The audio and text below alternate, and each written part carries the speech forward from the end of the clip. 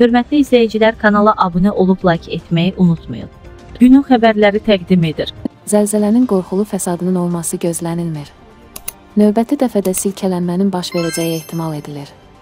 Novoye Vremya.com xəbər verir ki, bunu oxu. Azza açıqlamasında ekoloq, seysmoloq Ənvər Əliyev deyib. O bildirib ki, xırda təkanların olması regionda daha böyük təkanların olması ehtimalını azaldır. Təzyiq özünü 4-5 bal gücündə bildirir, tədricən yer öz enerjisini çıxarmış olur. Bu da daha güclü zəlzələlərin olma ehtimalını azaldır. Seysmoloq onu da qeyd edib ki, Bakı çox yüklənib və bu yüklənmə maqnitudası yüksək olan zəlzələlər zamanı tələfat və itkilərə səbəb ola bilər. Abşeronda qeydə alınan zəlzələ ola bilər ki, təkrarlansın. Zəlzələni biz suya daş atmaqla müqayisə edirik. Daş suya düşdükdən sonra dalğalar bir müddət davam edir. Zəlzələnin dalğaları da eyni qaydada yayılır.